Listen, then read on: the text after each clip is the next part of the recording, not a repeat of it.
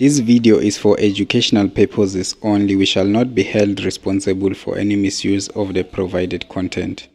Hello guys, welcome to my YouTube channel. Today I'm going to show you how to create a V2Ray config on HTTP custom. Without wasting any more of your time, let's get started. So the first thing you're going to do is go to your browser, either in your PC or on your phone. After that, you're going to go to sshocean.com link will be in the description of this video. Once you are in the ssh ocean website select services and you're going to go to where it says v2ray and we are going to either either select v2ray vmess or v2ray vless i will leave a link in the description or a blog which explains the difference between the two of them. For this video i'm going to select v2ray vless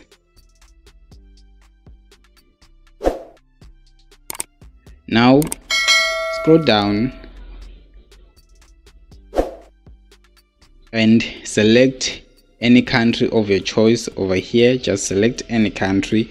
I'm going to select the United States since it is faster since their servers are faster on my country. So I'm just going to select the United States. You can select any country. You don't have to select the United States as well. Now I'm going to scroll down until we find something like this. And these are our servers. As you can see we have servers one up until server number four and then here you have to take note of a few things. First you must make sure that your server is online.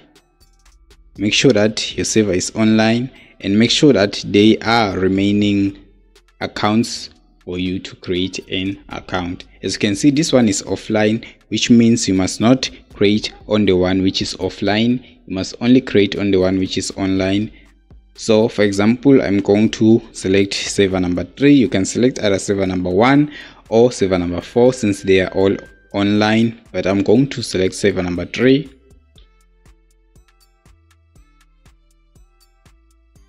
now scroll down again and here you will have to put on a username and an SNI. As you can see, it's a SNI optional, so you can either put it or don't put it if you uh, if you don't want to use it.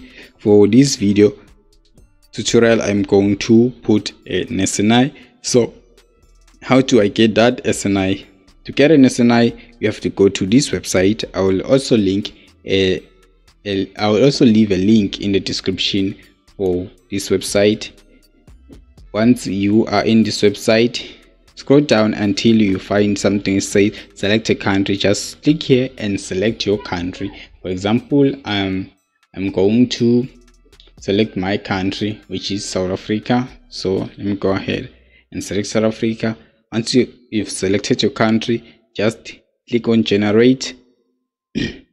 Here you can find the sni for your country. Most of the snis here are working. So if you can't find the working sni just go ahead and click here to request the sni or scroll down till the end you'll find a link which will take you to our telegram group where you can request your sni once you find your sni just copy the sni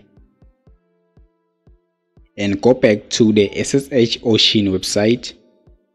Over here you are going to put on a username and then you're going to put on your sni for any for any username i'm going to put the positive yes you can put any username of your choice.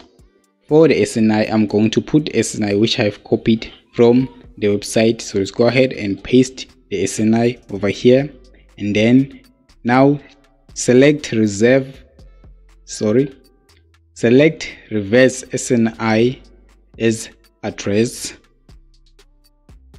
And then select i'm not a robot. Create now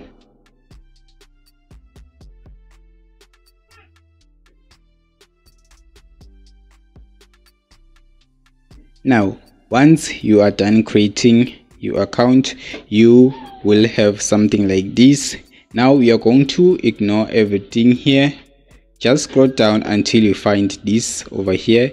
You're going to select the second one which uh, says copy config tls just select this one.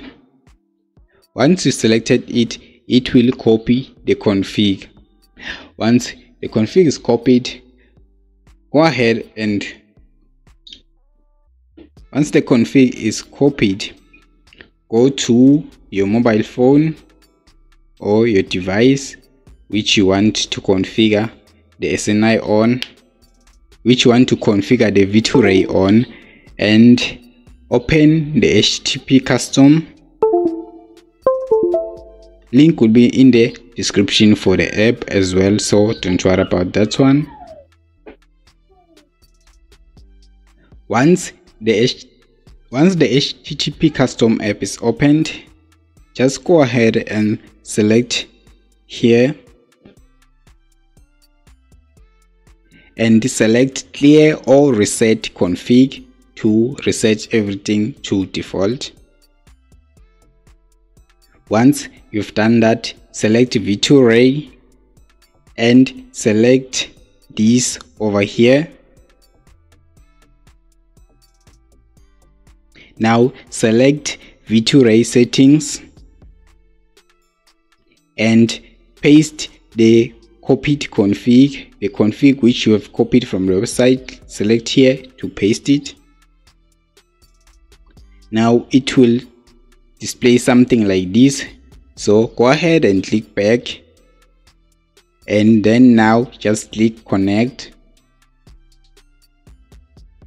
click log to see your progress. As you can see we are now connected. It says disconnect over here. And uh, if you can see here we are now connected. You can now use your v2ray on http custom. If this video is useful to you make sure to subscribe and like the video. Also share it with your friends if you have a problem comment it below we'll be we might be able to assist you with your problem. Thank you for watching. See you on another on another video and peace